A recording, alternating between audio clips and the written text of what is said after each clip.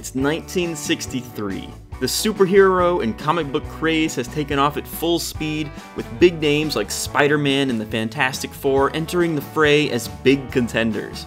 The arrival of both of these titles in subsequent years is something that was, and to some degree, still is, unprecedented in the world of comic books.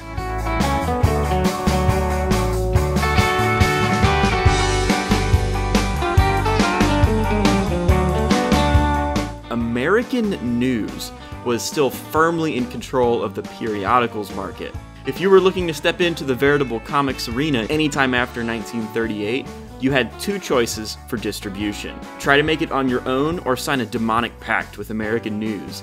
Publisher Martin Goodman chose the former, and he didn't do all that poorly, but somewhere along the line, the dollar signs must have attracted him to American News.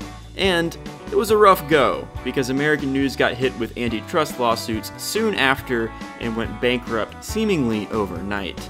Enter National Periodical Publications distribution arm Independent News. Who made up this company, you might ask? Well, that's none other than the present day DC Comics. Yes, the progenitors of names like Wonder Woman, Superman, Batman, and many, many others. Goodman eventually inked a deal with Independent, agreeing to have his issues distributed by them. It's crazy to think the same folks who published today's most popular DC names also published Marvel titles once upon a time from 1957 to 1969. But this agreement wasn't all sunshine and rainbows. See, Independent wasn't all that interested in Martin's aspirations of comic book greatness. Instead, they were more desirous of Goodman's magazine work. So, they limited him to just eight comic book publications a month, Truth is, Goodman had a proclivity for following the trends, and this put him at odds with the higher ups at any company with which he might be doing business. The trend at this time was comic books, and so Independent felt they needed to stymie what would have likely been an overflow of knockoff superhero titles very early on. Pretty smart, honestly, that they wanted to protect the image and status of their big name characters. Eventually, Goodman got permission to increase his stable of monthly publications to 10, up from the original 8. He then placed a call to Stan the Man Lee. Goodman knew exactly what he wanted from the two new titles and relayed this to Lee. The two new offerings from Marvel were to be knockoffs of the company's most popular titles, the aforementioned Fantastic Four and Spider Man. If it wasn't obvious by now, Goodman was a profit seeking capitalist, the likes of which you'd probably be simultaneously impressed by and angry with. Hello, I like money. A double edged sword, Goodman brought a wealth of new characters to the Marvel Armory through his creative compatriots in Lee, Steve Ditko, and Jack Kirby. Keeping up with all those personalities was tough, but you could argue Goodman was instrumental in helping lay the foundation for what would eventually become the Marvel Universe. I'm here to talk to you about the Avenger Initiative.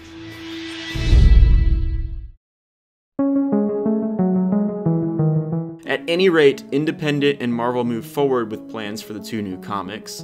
The names of these two new series? X Men was to be the copy of Fantastic Four, and Daredevil was meant to be a new incarnation of Spider Man. The connection becomes apparent when you compare the Fantastic Four and X Men's most notorious baddies. Magneto and Doctor Doom share many similarities right down to their appearance. There's also the issue of how the Hulk and the Thing basically fill the same team roles. But if that wasn't enough, the X Men's inspiration is right there on the cover. Even Daredevil was meant to follow in the footsteps of Spider Man, and Daredevil wasn't even a completely new idea. The copyright had simply lapsed for his similarly named precursor, which first came to the limelight in 1940 through Silver Streak number 6. So, nearly every idea in this new era of Marvel was in some shape or form a remix of prior characters or groups. But Daredevil was happening. Lee scrambled to get his ducks in a row, first approaching longtime compatriot Steve Ditko. He initially turned Lee down, we can only assume he didn't feel quite right copying someone else's idea so blatantly. Lee eventually marketed the idea to Jack Kirby, who, albeit begrudgingly, signed on for the initial conception of Daredevil and the first few issues. The feeling was apparently mutual, as Lee felt Kirby was too busy to work on the new comics. Lee approached Submariner creator Bill Everett. Everett wasn't even working in the industry at the time, and long story short, he ended up, quote unquote, not having the time, same as Kirby.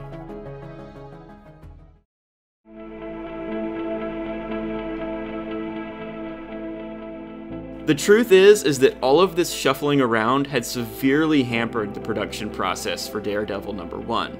You see, back in those days, you paid for your printing time and product even if you didn't print any of that product. Stan, scrambling to figure out how to keep Daredevil alive, went to Jack Kirby once again. They couldn't simply move one of their publications over to the new slot because each one had their own press dates. This meant that whatever filled that slot had to be a brand new title. With only a smattering of time available until press date, Kirby and Lee looked to their stable of already established characters. And finally, it was time to assemble. It was the Avengers that came out of the woodwork. Iron Man, Hulk, Thor, Ant Man, and the Wasp all jumped to center stage in a team up like the world had never seen. And yes, indeed, it spawned one of the biggest franchises ever published. Even the Avengers' opening act villain was a character already well known to audiences, Thor's half brother, Loki. And so Marvel had pulled off the incredible gambit of killing two birds with one stone, making press date and creating a new publication out of thin air. It just so happened that X Men number 1 and Avengers number 1 both debuted on September 1st, 1963. Daredevil, which would continue to suffer setbacks under artist Bill Everett, wouldn't see store shelves until the next year. Lee eventually had to turn to those he was working with more closely to get the issue ready for publishing, and Everett's footprint on Daredevil scattered across a few different Marvel employees. The truth is mixed up in between stories from Lee, Kirby, and Kirby's former assistant, Mark Evanier. In a 2007 interview, Evanier tried to clear up some of the controversy. But Everett must have been fun at parties because, for all of his faults, he was back to penciling for Marvel within two years, although not necessarily on the Daredevil project itself. At any rate, The Man Without Fear finally made it to store shelves six months late. Rumors suggest that Goodman might have used his publishing slots to creatively ensure that Daredevil got out the door, continuing his antics as an extremely effective and crafty leader.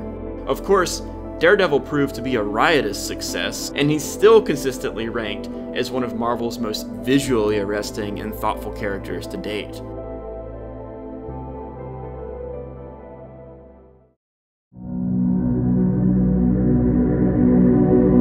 Like the characters that make up the Marvel Universe, the folks who created it are every bit as diverse and interesting an array.